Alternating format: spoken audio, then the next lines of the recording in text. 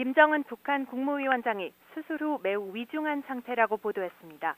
정확한 표현은 심각한 위험에 빠진 상태라는 겁니다. 안녕하세요. 마카오건입니다. 오늘 각종 매체에서 김 위원장의 수술 관련 내용이 많이 나오고 있는데요. 북한과 관계가 좋다는 중국의 입장은 어떨지 한번 알아보겠습니다. 4월 21일 미국 CNN 뉴스 보도에서 김정은 북한 국무위원장 수술 후 중태라고 밝혔습니다. 상태가 매우 심각한 상황이기에 미국 정부가 주시하고 있다고 전하였습니다. 그래서 각종 매체에서는 지난 15일 김일성 주석의 생일인 태양절 행사에 불참한 이유를 건강 이상으로 추측을 하고 있습니다. 중국 시민들도 여기에 굉장히 큰 관심을 보였는데요. 이상하게 인터넷 뉴스는 지속적으로 올라오는데 영상과 댓글이 계속 지워진다는 얘기가 많았습니다.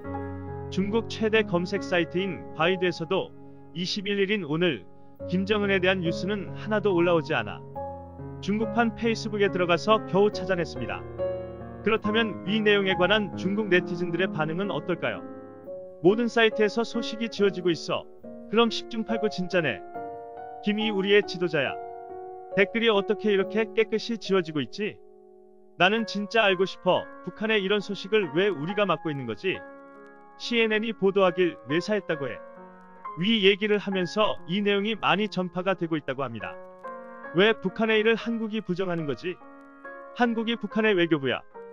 만약에 이 일이 사실이 아니라고 해도 왜 한국이 나서는 거지? 통일했나? 내 최대 관심사는 아들 있어? 만약 진짜 위험하다면 수술하는 의사는 재수 없겠네. 이 말은 즉슨 수술에 실패한다면 와 갑자기 닥터 이방인이 생각났어. 너무 뚱뚱해서 건강에 문제가 생긴 거야. 왜 그렇게 처먹어서 이렇게 된 거야? 지금은 괜찮나?